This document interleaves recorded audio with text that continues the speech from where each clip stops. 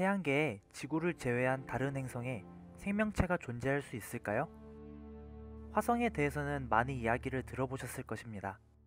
하지만 오늘 우리는 화성이 아닌 목성의 위성, 에우로파에 대해 이야기를 해보려고 합니다.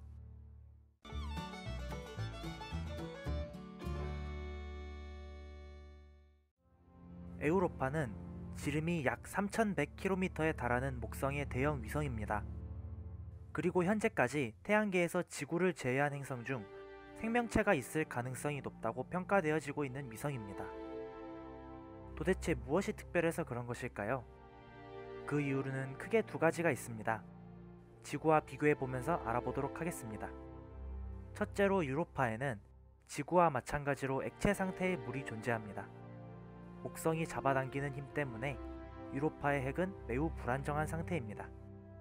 그 때문에 아주 활발한 화산 활동이 이루어지고 있습니다. 이 화산 활동 덕분에 액체 상태의 물이 존재할 수 있는 적절한 온도가 유지되어집니다. 이러한 특징 덕분에 유로파는 아주 특이한 형태를 띠고 있습니다. 행성 표면에는 20에서 30km 두께의 얼음층이 존재하고 그 밑에는 1000km가 넘는 깊이의 바다가 형성되어 있는 것으로 추정됩니다. 참고로 지구에서 가장 깊은 곳인 마리아나 해구의 깊이는 11km가 좀 넘습니다. 정말 엄청난 깊이의 바다로 이루어진 행성이네요. 그렇다면 생물체는 액체 상태의 물과 그 물이 유지될 온도만 있으면 살아남을 수 있을까요? 지구로 다시 돌아와 보겠습니다. 지구는 태양으로부터 오는 자외선과 우주선을 효과적으로 잘 막아냅니다. 바로 지구가 만들어내는 자기장과 오존층 덕분이죠. 온도가 적절하게 유지되어진다고 해도 자외선과 같은 생명체의 해로운 요소를 막아줄 수가 없다면 생명체가 존재할 수 없을 것입니다. 그렇다면 유로파도 자외선을 막아줄 수 있을까요? 우리에겐 든든한 20에서 30km 두께의 얼음이 있습니다. 이 두꺼운 얼음층은 목성으로부터 오는 방사선과 우주에서 오는 해로운 요소들을 모두 막아주는데 충분한 두께입니다.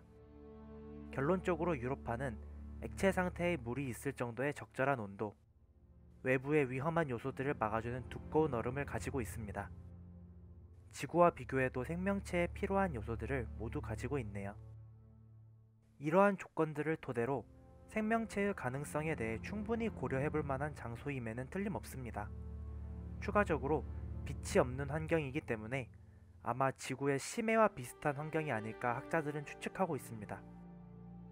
아직 우리의 기술로는 유로파까지 우주선을 날려보내 30km의 두께의 얼음을 뚫을 기술은 가지고 있지 않습니다.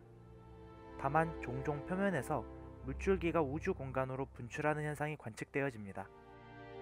분출되는 순간 근처를 비행하면서 우주 공간으로 분출된 물에서 생명의 근거를 찾는다면 인류 역사의 길이 남을 엄청난 발견으로 기록될 것입니다. 준비한 영상은 여기까지입니다. 잘못된 정보에 대한 지적이나 추가적인 정보는 언제나 환영합니다. 많은 댓글 남겨주세요.